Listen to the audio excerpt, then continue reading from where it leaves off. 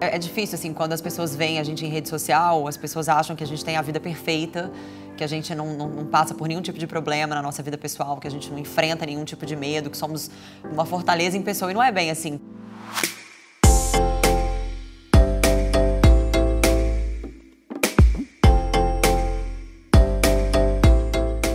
Bela, você tem uma rotina que você divide com seus seguidores já há um tempo de um treino muito disciplinado, de alimentação disciplinada, é um lifestyle que você adora, que tem tudo a ver com você.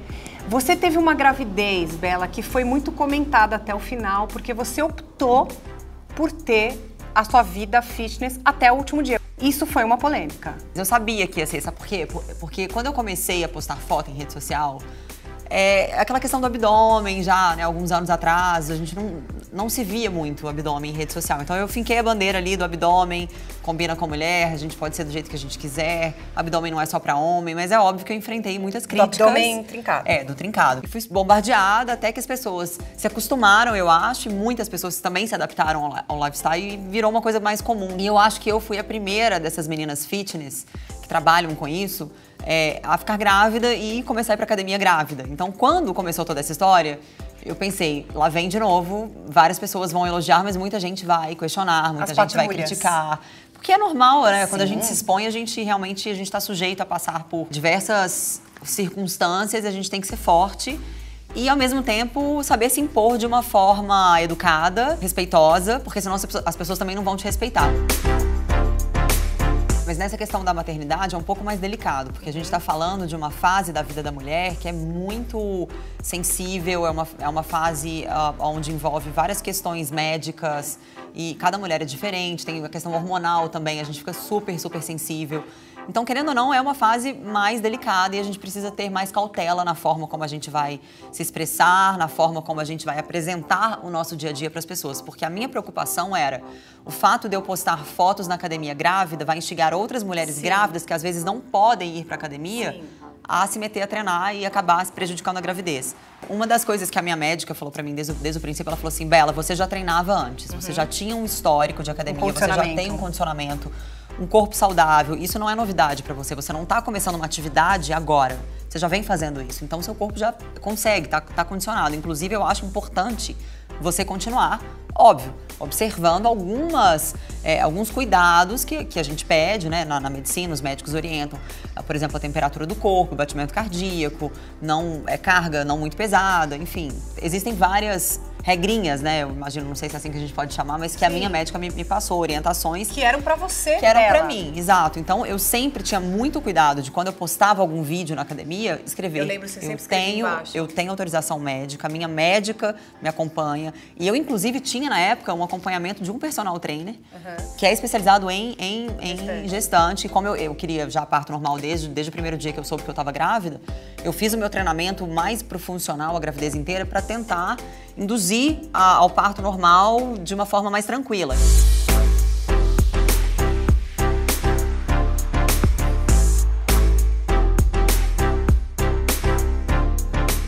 Quando a Vicky nasceu, e foi um processo longo, eu fiquei 27 horas eu, é, por isso que eu trabalho de parto e uma hora de trabalho de parto ativo.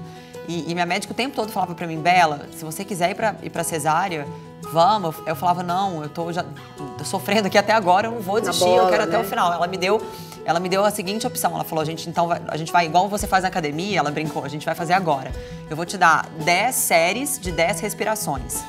Se na décima respiração da décima série ela não vier, a gente vai pra cesárea. Combinado? Eu falei, combinado. E ela tava monitorada o tempo todo, ela não entrou em sofrimento, óbvio que eu tava prezando Lógico. muito pela saúde dela. Aí eu me lembro que na oitava respiração da décima série, eu já tava assim, desesperada e tudo passando pela cabeça. Eu olhei pra frente, a janela, ela era espelhada.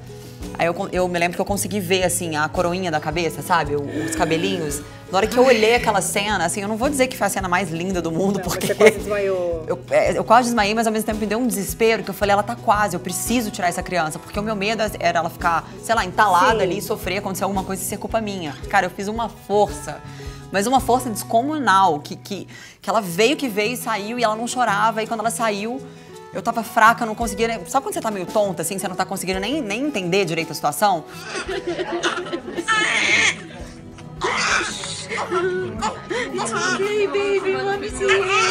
See. montanha-russa de, de, de, sentimento que você não sabe o que fazer, assim. E depois que vem o bebê pra cima de você, na hora que, que a médica colocou a Vicky em mim, eu falei, agora eu vou pular no meu peito, ela vai mamar, porque meu peito estava enorme. Eu falei, eu tô cheia de leite. E não aconteceu, não rolou. Não. Você vê que as coisas não acontecem como a gente Aí começou aí né? as dificuldades.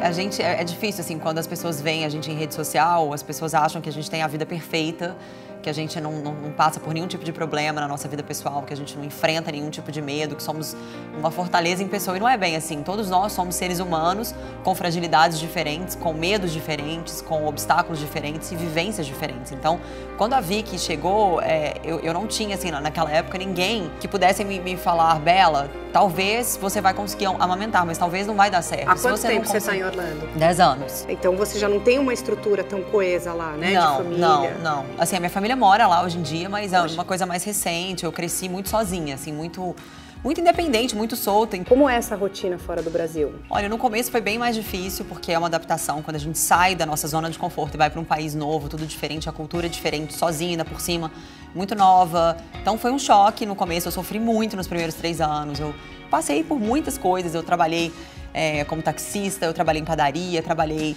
é, limpando restaurante, eu trabalhei de garçonete. Eu tenho muito orgulho da minha história, mas hoje em dia eu já tô, obviamente, depois de 10 anos, total inserida lá.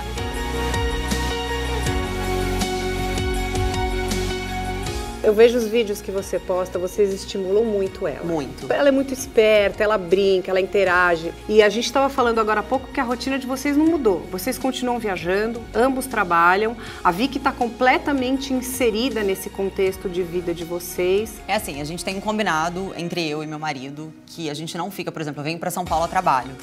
Eu fico no máximo dois dias, vou para BH, nem que seja para deixar ela com a avó e voltar para trabalhar, porque eu acho muito é, judiação, assim, de tirar ela tanto da rotina dela, porque ela não come, ela é, bagunça tudo. A questão do funcionário bagunça. A gente sabe que isso pra gente já é pesado. É, imagina pra ele. Imagina pra um bebezinho. Não é fácil, é muito desafiador. Cada dia a gente enfrenta um obstáculo diferente, a gente tem que que, que criar é, atividades para ela num quarto de hotel, às vezes. Então, eu trago muito lápis de cor. A questão do iPad é que hoje em dia tem uma polêmica muito grande não, com essa coisa de tecnologia. Eu, eu mesma falava. Bem relaxada. Ai, não vou, nunca vou dar iPad é. para minha filha. Impossível. Como que dança?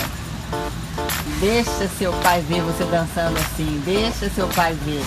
O que, que você pode dar de dica para essa mãe que está assistindo a gente, que não é uma pessoa fitness como você, mas que quer passar uma gravidez em forma e quer voltar rápido? Eu, eu, não, eu não, não vou me atrever a dar nenhuma dica assim, específica como é isso, como aquilo, porque cada pessoa é diferente.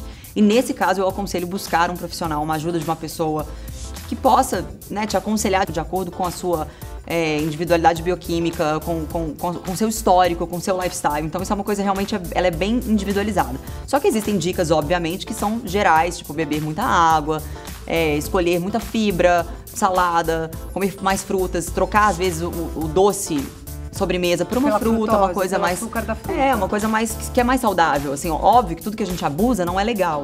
Mas conseguir estabelecer uma rotina de alimentação organizada e não só, ah, eu comi na hora que deu.